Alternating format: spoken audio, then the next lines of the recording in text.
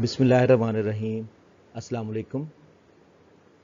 Dear students आज के इस लेक्चर में हम स्टडी करने जा रहे हैं motion of a spinning top motion of a spinning top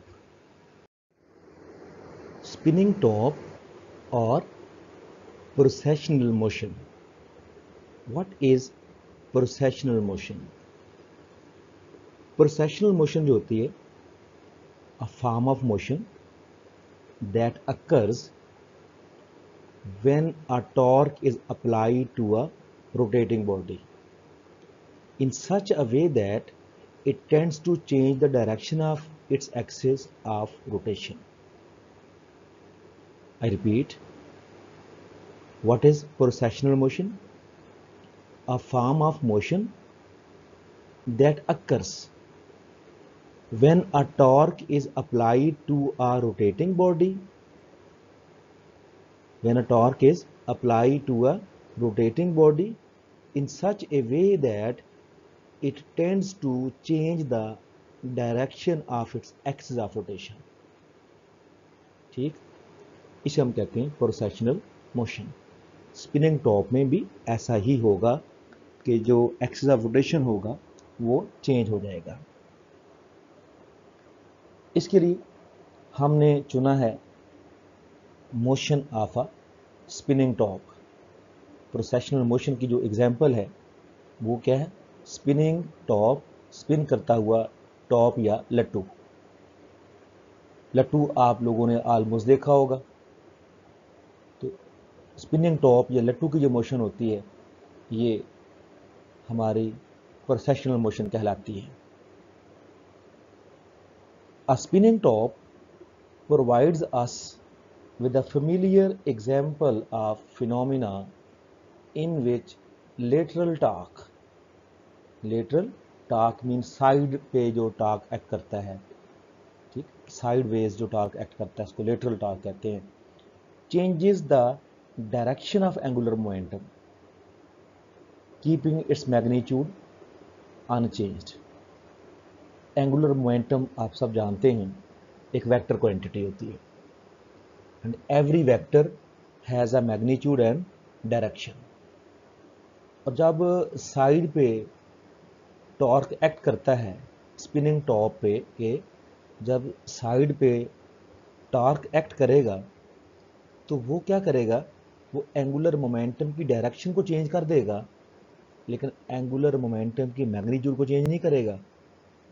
angular momentum की जो मैग्नीट्यूड होगी वो कांस्टेंट रहेगी, डायरेक्शन चेंज हो जाएगी। कब? जब लेटरल टार्क या एक साइड पे टार्क जब एक्ट करेगा। फिगर ए हम देखते हैं अगली साइड में।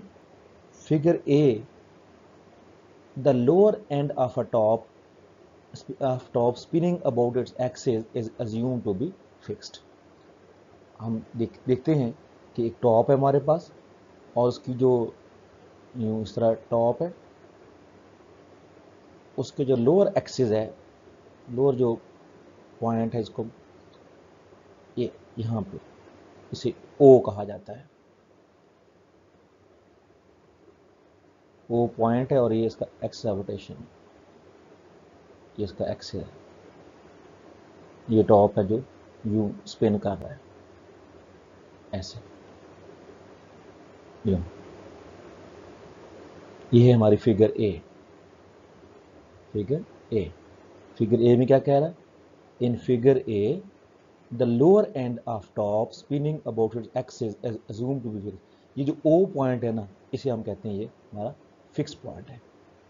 ओ को हम फिक्स पॉइंट जो है मान लेते हैं। O is a fix point इसे हम फिक्स पॉइंट कहते हैं। ये हमारा फिक्स्ड है। ये सपोज़ अर्थ है। अर्थ के ऊपर जो ओ पॉइंट है, ये हमने फिक्स लेना है। एक्स जो है, वो बदल सकता है। तो O is a fixed point from experience इनकी हम जानते हैं कि जब टॉप स्पिन कर रहा होता है, या मूव मोशन में होता है। From experience we know that the axis of this rapidly spinning top moves slowly about its vertical axis, कि vertical axis की से इसका जो एक्सिस होता है ये फिर थोड़ा सा यूँ चेंज हो जाता है। इस तरफ़ एक्सिस चला जाता है। यूँ एक्सिस जो है बदल जाता है। पहले ये टॉप जो होता है ऊपर तरफ़ ऐसे मूव कर रहा होता है, फिर थोड़ा सा टेल्ट कर जाता है ऐसे। ये आपने अगर टॉप की मोशन देखी होगी तो ऐसा ही होता है। कि पहले वो बिल्कुल वर्टिकली और उसके बाद थोड़ा सा झुक जाता है एक तरफ़ इसका उसका जो एक्सेस है वो वो चेंज हो गया है, बदल गया है वर्टिकल एक्सेस के गया वो थोड़ा सा टेल्ट कर गया this motion is called precessional motion इस मोशन को हम प्रोसेशनल मोशन का नाम देते हैं। This motion is called precessional motion ठीक? For simplicity for simplicity we replace top by a particle of mass M हम इस टॉप की बजाय बजाय पूरे का पूरा टॉप बनाएँ, हम इसकी बजाय एक पार्टिकल बना लेते हैं, जिसकी मैस है कैपिटल एम जिसकी मैस हमने कैपिटल एम कंसिडर की है। Located at centre of mass of the top the weight M G of the top acting vertically downward weight हमेशा वर्टिकली डाउनवर्ड होता है। Supplies a torque about origin of O magnitude जिसकी magnitude होगी tau is equal to हम जानते हैं are F होता है tau is equal to R F होता है तो एफ़ जो है यहाँ पे हमारे पास, वो वेट है। एफ़ हमारा क्या है? Weight tau is equal to R F ये हम फ़ेमस फार्मूला जानते हैं magnitude of the top R into F होता है। तो जो एफ़ है, वो वेट होगा टॉप का, जो कि हमने एम जी लिया है, इसलिए इसको एम जी आर हम लिख सकते हैं ये मैग्नीट्यूड है टॉप की।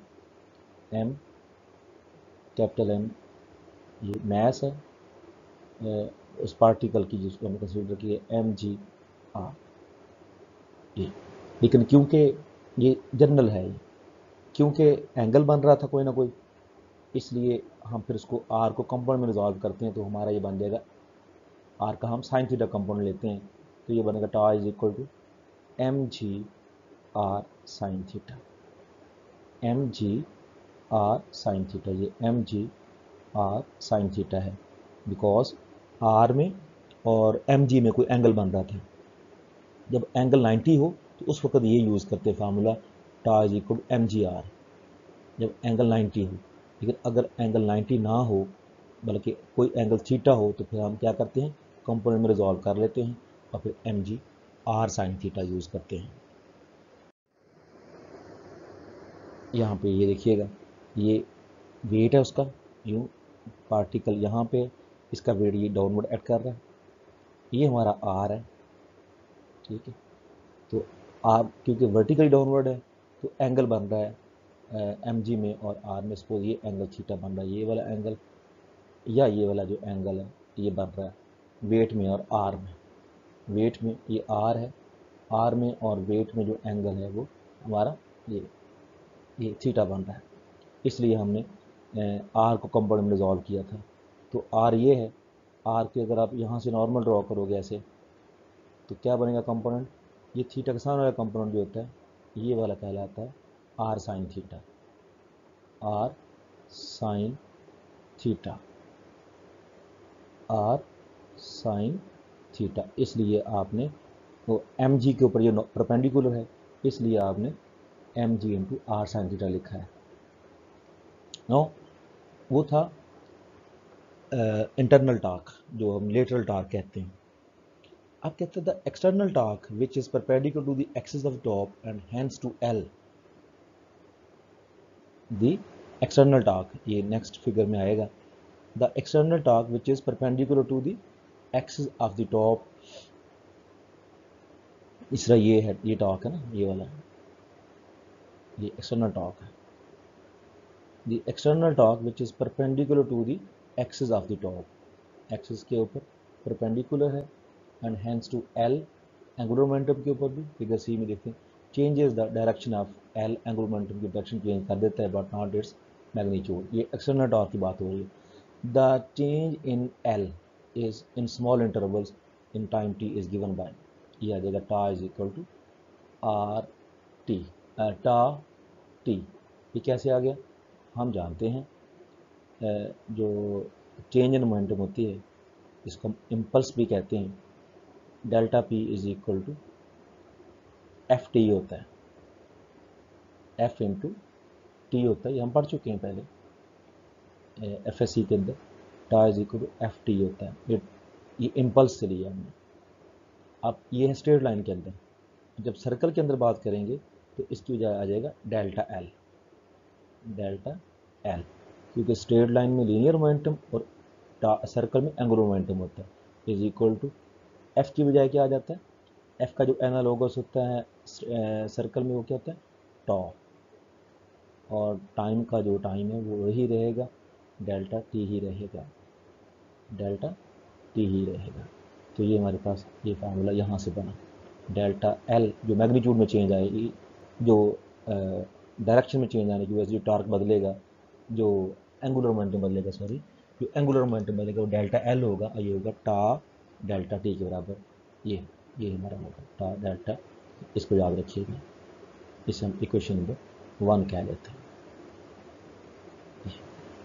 ठीक? अच्छा। ये वही फिगर है ए जिसमें ये एक्सेस है हमारा, ये फिक्स है, ये ओ ए ओ पॉइंट जो है वो सेम है। फिर एक्स रोटेशन ये था इसका। उसके बाद थोड़ी सा जब टिल्ट करके तो एक्स रोटेशन ये बन गया हमारा। ठीक? ये इतने एंगल पे ये जो है वो मुड़ गया।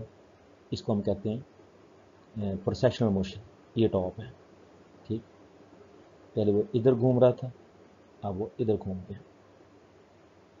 For a top having axial symmetry the angular momentum vector points along the axis of rotation of the top. When L changes its direction so does the axis of rotation so does the axis एक्सावटेशन कि L जब change हुआ है, इसका x of rotation change हुआ है। X of rotation change हुआ है। Consequently both angular momentum L and rotation जो है top trace circle about z axis in figure A तो जी एक्सेस की गेल भी है, ये हमारा जी एक्सेस है। इसके गेल एक सर्कल ट्रेस करना देता है। ये जब जब चेंज हुआ उस वक्त ये, पहले ये था, इनकी इस तरह रोटेट कर रहा था, उसके बाद फिर ये उसकी, ये पोजीशन बन गई इस तरह वो रोटेट करना शुरू हो गया।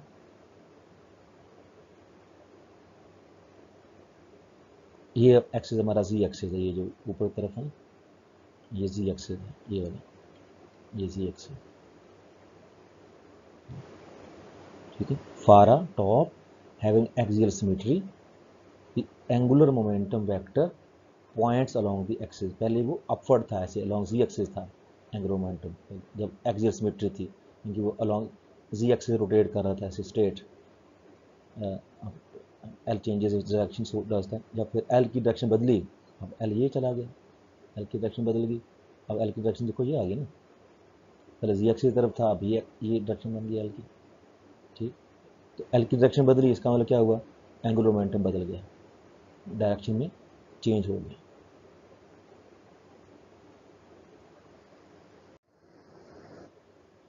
ये है हमारी फिगर सी ठीक? ये टाक एक्ट किया जिसे एक्सटर्नल टाक हमने कहा था। अब इसमें आप देखें जो एल है एंगुलर मोमेंटम ये तो उसके अगर आप ये एल बन गया इस तरफ़ आ गया एल ठीक है? इसका एक्सेस बदल गया, ठीक है? एल के जो एक्सेस है, बदलने से एल बदल गया। तो अब जो इसको अगर कंपाउंड में रिजॉल्व करेंगे तो ये हमारा थीटा के सामने कंपाउंड बन गया एल का L sine theta L sine theta this motion is projection of top in delta t. The axis of top rotates about an angle delta delta phi कहते हैं इसको फिगर डी में. ठीक? अब मज़ीद जब चेंज हुआ, यहाँ से फिर वो जब ऐसे आगे तक गया तो ये उसकी पहली पोजीशन एक्सेस साथ कितनी थी? एक्सेस पोजीशन ये थी। ठीक है। उसके बाद उसकी पोजीशन बन गई ये, इतनी चेंज होगी जब मज़ीद आगे जो है वो पार्टिकल गया होगा, उसने जब यहाँ से लेकर यहाँ तक मूव किया होगा तो उस वक्त ये इतनी उसकी पोजीशन बदली है। इसको हम एंगल को कहते हैं डेल्टा फाइव ठीक? तो जो मैग्नीट्यूड है, ये जो इतना ये सर्कल में कांस्टेंट रहेगा ना एल साइन थीटा ही रहेगा। तो ये जो एंगल है अब वो जब वो वन पॉइंट टू अदर गया है तो जो उसने एंगल इसको हम एंगुलर डिस्प्लेसमेंट भी कहते हैं वो डेल्टा फाइव हो जाएगा। सो so, अब यहाँ से जो डेल्टा एल किसके इक्वल आ जाएगा? Delta L is equal to L sine theta into tau L का जो L sine theta into phi delta phi बन गया। इसे हम इक्वेशन नंबर टू कहते हैं। ये। This motion is the projection of top in time delta t uh, axis of top rotates through an angle delta phi is given by तो ये कैसे हमारे पास आ गया? आप जानते हैं S is equal R sine theta होता है R S is equal R theta होता है. S is equal to R theta ये हम पढ़ चुके हैं फार्मूला पहले. जो S length of the arc है, यहाँ पे जो लेंथ ऑफ़ द आर्क है ना, इतना यहाँ, जब यहाँ से लेके पार्टिकल इस पॉइंट से तो इस पॉइंट तक गया है तो जो उसकी इसमें चेंज आई है एंगुलर मोमेंटम वो डेल्टा एल है। तो एस जो है वो हमारा डेल्टा एल होगा। एस को हम कहेंगे delta L is equal to जो आर है रेडियस है तो सर्कल का रेडियस क्या है? एल साइन थीटा ये ये वाला रेडियस है, ये वाला, ये रेडियस है सर ये एल साइन थीटा आ जाएगा। इसको पुट करेंगे। L sine theta L sine theta और जो थीटा है हमारे पास, वो कितना बना? जब पार्टिकल वन पॉइंट उधर गया डेल्टा फाइव डेल्टा फाइव ये डेल्टा फाइव बना। ठीक? यहाँ से ये ये चीज़ जो फार्मूला ना इक्वेशन टू वो यहाँ से ड्राइव हुई है। अब ये delta L L sine theta का L sine theta delta phi के इक्वल भी है, और पीछे हमने इक्वेशन वन में पढ़ा था delta L is equal to R tau tau delta T के इक्वल भी था। डेल्टा एल जो था वो इक्वेशन वन में, किसके इक्वल था? Tau delta T tau, delta T के इक्वल था ये L sine theta question number two और वन को कंपेयर कर दिया आपने। ये दोनों को कंपेयर कर दिया गया। अब क्या किया गया? इसको इधर जाके डिवाइड कर दिया गया। Delta phi by delta T is equal to tau by L sine theta इसको जाके इधर डिवाइड कर दिया गया। और डेल्टा टी को इस तरफ़ डिवाइड कर दिया गया। तो हमारे पास क्या आ गया? Delta phi by delta T is equal to tau over L sine theta taking limit on both sides अब हम दोनों तरफ़ जो है लिमिट ले लेते हैं। टाइम इंटरवल लेट्स सपोज़ बहुत स्मॉल है। जब particle one point to other गया था तो जो टाइम इंटरवल उस वक्त था, वो बहुत स्मॉल है। तो वो बन गया D phi by D tau D T is equal tau by L sine theta equation one क्या हो जाएगा? D phi by D T is equal to अब हमें जो टा है, इसकी वैल्यू पता है। ये एम जी ये आर साइन थीटा के इक्वल है। जब एंगल बन रहा था between weight and position vector R उस वक्त हमने टा ये शुरू में ये बात कही थी, tau is equal to question A का नाम दिया इसको tau is equal to M G R sine theta M G R sine theta था M G R sine theta तो आप फिर यहाँ से टा की वैल्यू भी वोट कर दें, टा की वैल्यू वोट कर दें तो वो बन गई हमारे पास D phi by D T is equal to M G sine theta over L sine theta अब साइन थीटा से साइन थीटा कैंसिल हो गया। साइन थीटा से साइन थीटा कैंसिल हो गया। हमारे पास क्या आ गया? अच्छा ये जो डी फाइव बाई या D theta by D T ये ये क्या होता है? आपने फाइव को क्या कहा था? एंगुलर डिस्प्लेसमेंट तो rate of change of angular displacement is called angular velocity is called angular velocity ये हमारे पास बन गई एंगुलर वेलोसिटी ऑफ़ प्रोसेशन ये omega P is equal to आ जाएगा? M G R over L से क्वेश्चन नंबर थ्री का लेते हैं। That is precessional speed is inversely proportional to angular momentum अब जो प्रोसेशनल स्पीड ओमेगा है और जो एल है आपस में क्या है? इनवर्सली प्रोपोर्शनल है। एंगुलर मोमेंटम के inversely equation three can be written as इसको हम कैसे लिख सकते हैं? अब इसको जाकर मल्टीप्लाई कर दें omega P L is M G R omega P R is equal to दोनों तरफ़ आप साइन थीटा से मल्टीप्लाई कर दो। दोनों तरफ़ साइन थीटा से मल्टीप्लाई कर देंगे दोनों इधर भी और इधर भी आपने साइन थीटा से मल्टीप्लाई कर दिया। आप इसको लिख लें वेक्टर फॉर्म में, कि ओमेगा पी क्रॉस एल, ठीक? क्योंकि हम जानते हैं जो A, B sine theta N hat होता है किसके इक्वल होता है। A, B sine theta N hat ये हम जानते हैं, ये अगर वेक्टर फॉर्म में हो तो साइन थीटा साथ आप एन हैट लिख लो ये किसके इक्वल होता है ए क्रॉस बी के इक्वल होता है। Is equal to A cross B आपने क्रॉस प्रोडक्ट में पढ़ा हुआ है। क्रॉस प्रोडक्ट ले लिया ए ए क्रॉस बी ये वाला हमने फार्मूला यूज़ किया होगा तो इसको यूज़ करते हुए फिर ये जो omega P omega P L sine theta इसको आप साथ एन डायरेक्शन भी लिख लें क्योंकि वेक्टर क्वांटिटीज़ हैं तो ओमेगा पी क्रॉस एल बन जाएगा। इस तरफ़ इनका प्रोडक्ट जो है क्रॉस प्रोडक्ट और इधर जो है एम जी क्रॉस आर आ जाएगा।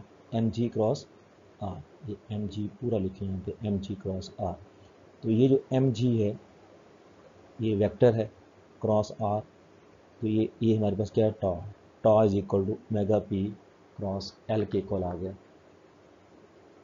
Tau is equal to omega P cross so the cross product of uh, angular velocity या uh, angular speed of precession and angular momentum is equal to torque equal आ गया